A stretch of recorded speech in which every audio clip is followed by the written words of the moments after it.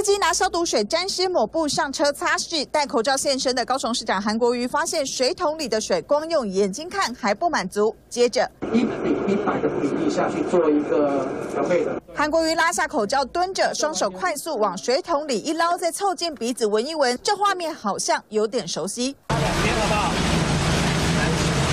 一九年七月，大雨造成高市大楼地下室积水未退，韩国瑜来到受灾大楼逢水必闻。如今视察公车防疫工作，经典画面再次重现。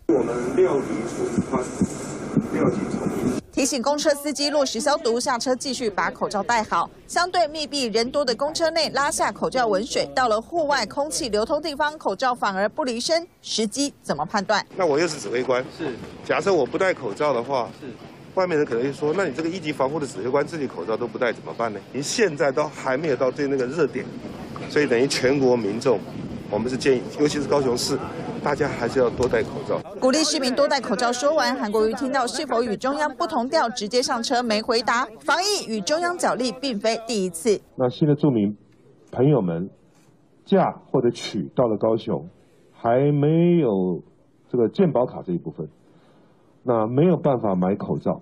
我们市政府这边一定会加强来特别照顾。韩市府六号召开防疫会议，特别点出要帮新住民买口罩，忽略中央配套措施，早在前一天就出炉，白纸黑字写清楚，外国人、外籍配偶及陆生持居留证或入出境许可证就能购买。很多的新住民朋友。他要来索取的时候，其实药局在这方面来讲，他还是会吃闭门羹。高市府发言人替韩国瑜缓颊，声称替基层新住民反映现状，只是在讯息掌握的时间点上，难免又惹来质疑。慢半拍，三立新闻连贯中欧玉文高雄报道。